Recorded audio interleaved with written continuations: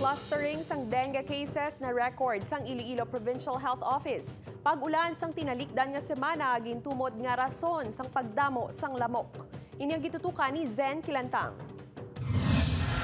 Na-record sang Iloilo Provincial Health Office ang clustering of dengue cases sa banwa sang Alimujan, Barotac Nuevo, Haniway, kag Pavia, humalin July 28 tubtob August 5 sini nga tuig.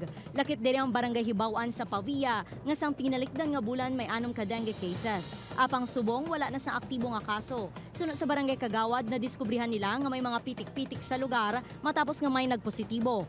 Ginpangbutangan na sang bulong kontra dengue ang mga posible istaran sang lamok. Nag-misting kami sa lugar which is nga dito may na-confirm nga positive sa carrier sa dengue nga ang kiti-kiti. So nag-apply kami sa mga larvicide sa mga sapa, no? Kag tapos nagi-oplan lim- kaya kulob kami.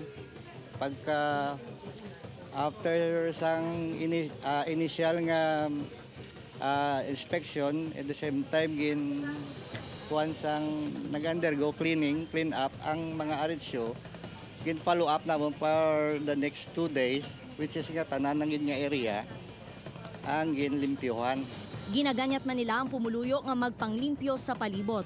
Sunod sa Iloilo PHO, isa sa rason sang pagdamo sa mga lamok ang masami nga pag-ulan, gani ginaduso ang padayon nga pagpatigayon sang forest strategy sa Department of Health.